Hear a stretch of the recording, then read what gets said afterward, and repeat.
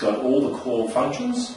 Uh, I'll show off starting from here is basically you've got the on-off switch, so that turns your light on and off.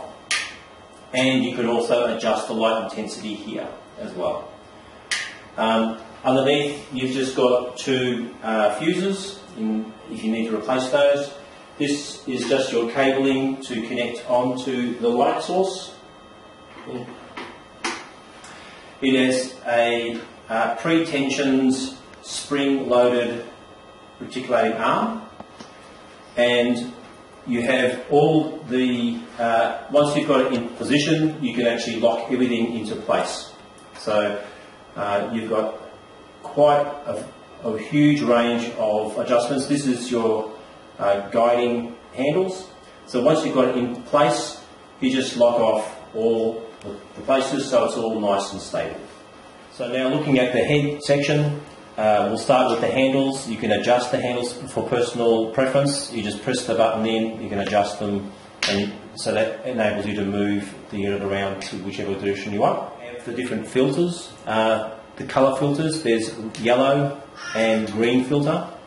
Uh, so you can look at that's the yellow filter, standard uh, white light, and your green filter or red free filter. Moving along, here is your uh, adjustment for your magnification. Uh, there's three steps of magnification, so it's just simply dialing to get you can see it here while you're looking through. So you've got um, three adjustments there. You've got a 45 degree angled um, eyepiece. You can actually remove that and place uh, different types of eyepieces on. Unscrew this here, and that comes straight off. You can place in the middle here a splitter that enables you to do digital video, digital video recording. So that's there as well. Um, your eyepiece, you can adjust your um, your own personal magnification here for if you're wearing scripts, and you can adjust for your own personal uh, uh, PD distance. Looking underneath, to there's a number of different uh, focal length filters uh, that you have. To, to replace them, you just unscrew here.